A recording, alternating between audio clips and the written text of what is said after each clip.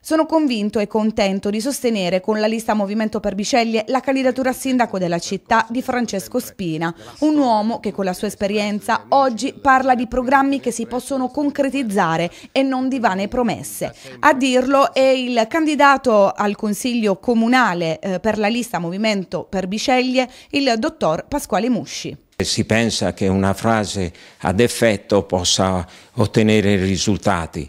Eh, voglio fare un semplice esempio, eh, dire al primo punto del proprio programma eh, entro l'anno aboliamo l'IMU mi sembra una promessa non proprio realizzabile se poi stiamo vedendo che a livello di governo centrale soltanto la rata di giugno dell'IMU è stata per il momento accantonata. Quindi non, mm, mi piace e sono convinto e contento di sostenere la, la, candidatura Spina a sindaco perché lo vedo eh, persona molto determinata e molto concreta. La città di Bisceglie oggi di che cosa ha bisogno?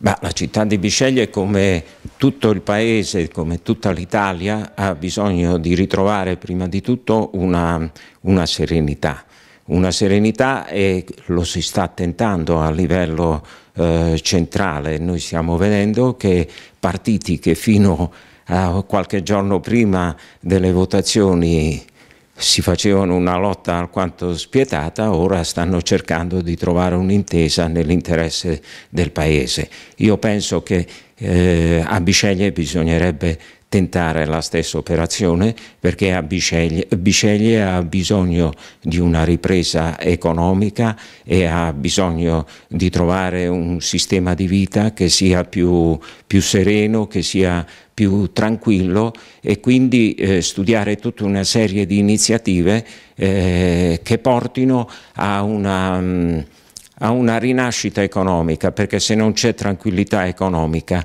è difficile che ci possa essere anche una tranquillità sociale. E questo penso che sia il punto eh, fondamentale, ma ci sono tanti altri aspetti, eh, tante altre cose che si possono realizzare, e, ripeto, in un clima di serenità, con la maggioranza che governa e con la minoranza che fa la giusta opposizione, ma non un'opposizione preconcetta, ma un'opposizione eh, che sia costruttiva.